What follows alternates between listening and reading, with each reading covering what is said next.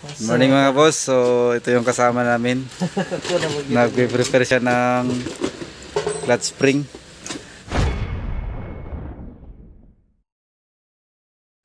Anong clutch spring to? Raider 150 mga boss. Yan. Available tayo. Ano to, my friend? Same lang na sila. Same lang. So, ano pa ang ibang available dito sa atin mga friend? Panganood ka lang. Manonood lang ako doon. So, ayun, Raider. Meron din tayo sa ating XRM 110 mga boss. XRM 110. Yan. XRM 110. Wave 100, ganun. Pwede ito ilagay sa RS 150 natin. Saka ito sa Wave 125. Ayan. Wave 125 meron din tayo.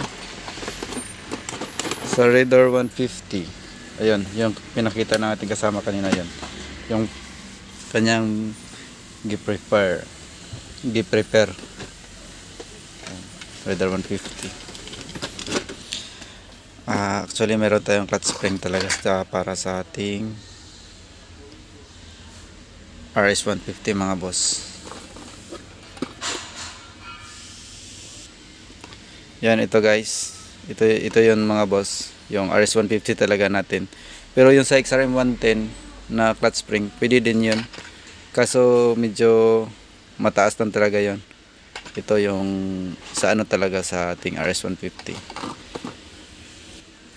So ayan mga boss yung ating clutch spring. Meron din tayo sa ating RS150 mga boss. Yan, yung clutch spring natin. So mga naghahanap dyan ng mga clutch spring mga boss. Ito yung pitch bike mga boss.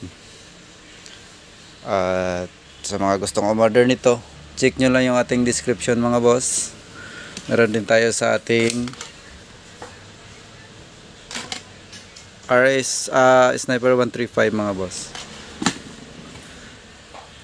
Clutch spring. So ano pa ba?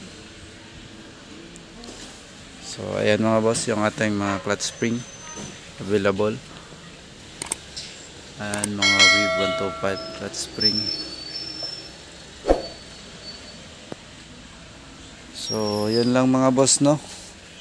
Sa lahat ng mga gustong umorder ng clutch spring para sa ating mga unit, uh, check nyo lang yung ating description mga boss.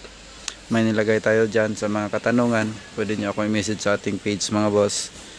Ayan, sa mga gusto naman ng sa mga gusto naman mag-order, click nyo lang yung ating page ng Page Bike dyan mga boss. So ayan, salamat sa inyong panonood. Ride safe and God bless us all.